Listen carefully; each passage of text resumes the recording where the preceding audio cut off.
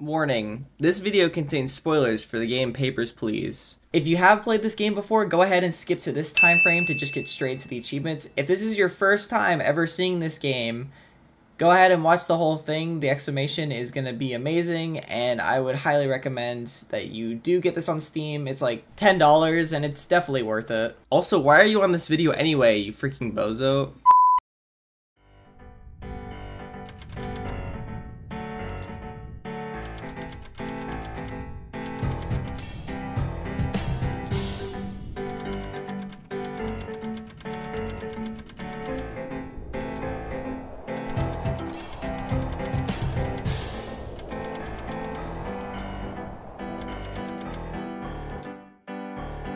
How to get every single achievement in Papers, Please. Alright, let's get into it.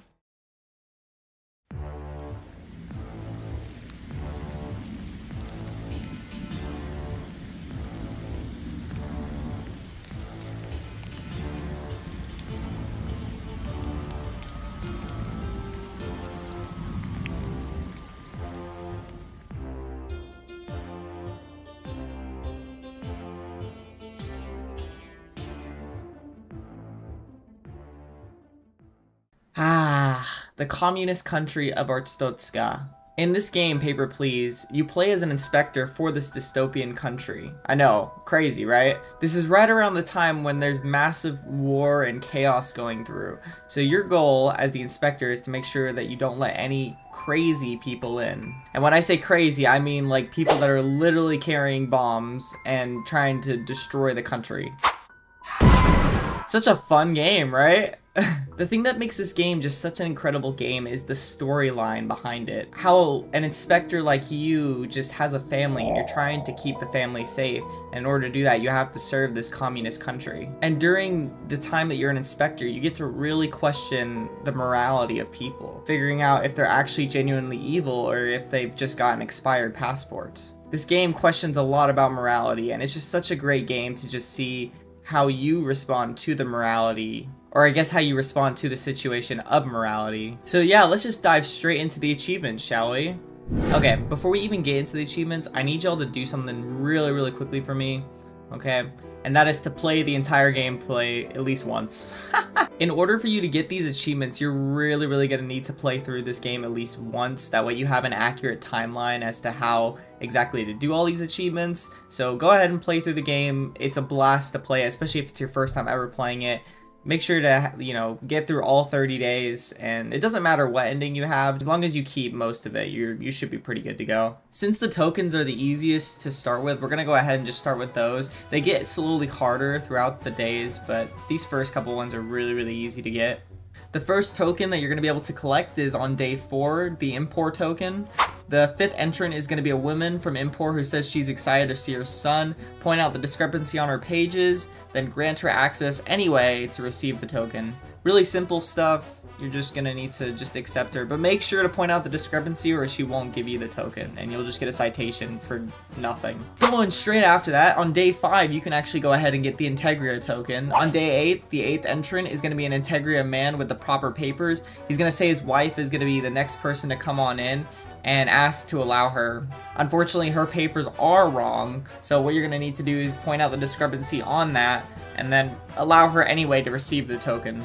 So just make sure that you point out the discrepancy again, and then allow her, and you'll go ahead and get the Antegria token. Hey, now we meet my favorite character in the entire game, Jorji Costava.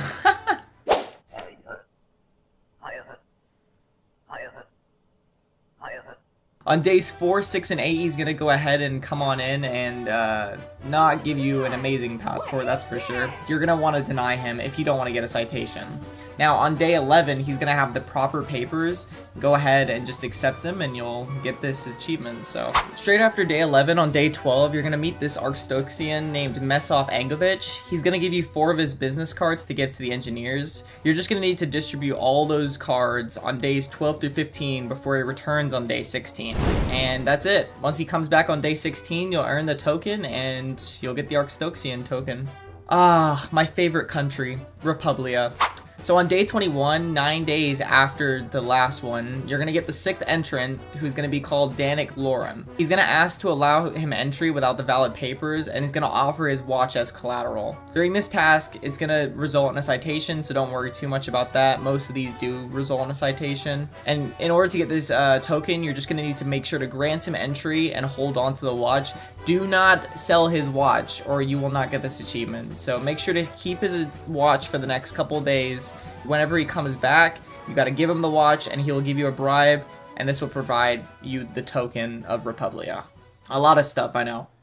My personal favorite is the Kolechia token on day 25. The fifth entrant will give you a love note, and obviously you want to decline him because he has nothing other than the love note and his passport. There's going to be this depressed person that comes in two after him. I believe it's on the seventh guy.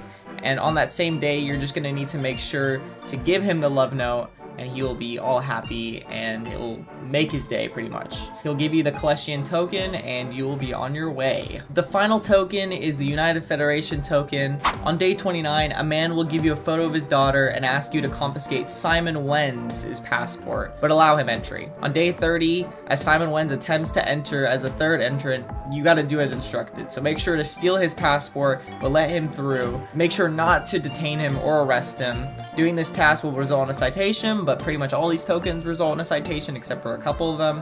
When the man returns later that day, you need to make sure to give him Wen's passport and receive the token. And that's all the tokens! We've officially made it through the token section, and now we can finally go to the endings preferably the middle endings. So for anyone who doesn't actually know, there's a total of five achievements that are considered for the endings of this game. Two of them are in the middle, and then three of them are at the very, very end. So we're gonna start with the middle ones first, and also include the other achievement that is hidden from you guys right now which is to get a class 5 apartment. Too Honest is going to be the first ending we're going to look at. It is located on day 12. On day 12, you're going to be asked by an inspector if you've seen any kind of mysterious or strange things popping up, which you have. You have a EZIC file with you as we speak. He's gonna ask if you have anything to turn it over to him, and if you do turn it over to him, you will be arrested and filed for questioning. So in order to get this achievement, yeah, you're just gonna need to get arrested. It's not that hard, pretty easy achievement, and as long as you get to day 12, you might have already done this.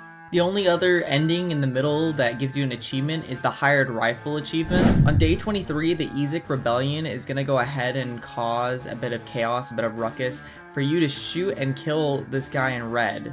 For this specific achievement, you're to need to shoot that guy. It's to get you arrested and end the game right then and there for you killing an innocent person, but you will get this achievement, you will get the ending, and scratch that one off the list. The last achievement you can get in the middle is called Worker's Best. The earliest you can get this achievement is on day 22. It's literally just saving up the money to buy the apartments. It's all about the money and how you save the money when you do this. I know this might seem a little heartless and cutthroat, but it doesn't matter because they're all fake people. If you do want to kill off all your family members except for one, it will save you a bunch of money. For what anyone who doesn't actually know how to get money in this game, basically in order to get money, it's $5 for every person that you either decline or let through correctly. If it's wrong, you'll get a citation and no, no money. And if you get more than two citations, you start losing credits for every time you get a citation. I would say as long as you're getting about 8 to 10 people through every single day, you should be able to pay for this new apartment. In order to get money, again, take as many bribes as you can, that will definitely help your progress. Also, big thing, detaining people. For every two people you detain, you get five credits. You can end up with tons and tons of money just from detaining people as is. So definitely keep doing that. And that's your financial guide with lemon milk. We have made it to the end achievements. The easiest of the three is escaping to Obristan since you can relatively just do this whenever. It is possible to get this achievement on days 29, 30, and 31.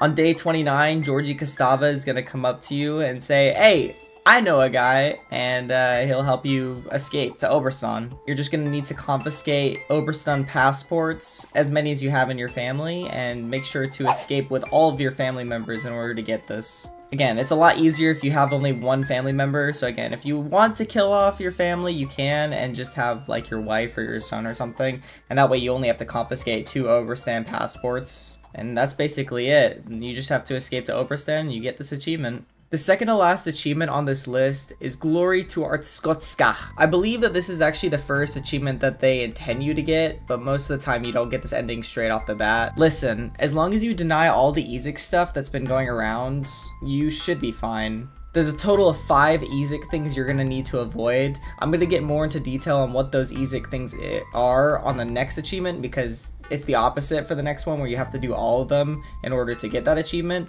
But for this one, just ignore them. Just play the normal playthrough. Do not accept any of the EZIC stuff or you will get arrested at the end of the game. And unfortunately, you won't be able to get the achievement if you get arrested. Fun fact, it also unlocks the endless mode, so you'll be able to start playing endlessly. The final achievement on this list is Member of the Order. Yay! In order to get this achievement in the game, you're going to need to at least complete 4 out of the 5 EZIC tasks that are given to you throughout this game to play. Alright, these are the 5 tasks that you're given throughout the game that you have to do. You need to allow Mikhail Saratov to enter on day 11. That's Mikhail Saratov. You're gonna need to allow Stephanie Greer to enter on day 14. You're gonna need to allow Marie Escali to enter on day 17. You're to need to poison Khaled Istam on day 20. And finally, you're to need to confiscate Kordon Kallo's passport, let him in, and give his passport to an EZIC agent on day 27. As long as you do 4 out of 5 of those achievements, you will be good, and you will get this achievement after the wall blows up on day 30. And there you have it, ladies and gentlemen. Every single achievement in Papers, Please. Hey, if you're still watching this video, thank you, thank you, thank you so much for being here. I really appreciate it. You guys are awesome. If you guys want to see more of this kind of stuff in the future, feel free to let me know down in the comments below. I love doing these achievement videos. Just let me know what kind of games you would like me to play in the future. It would be fantastic to get some feedback from y'all.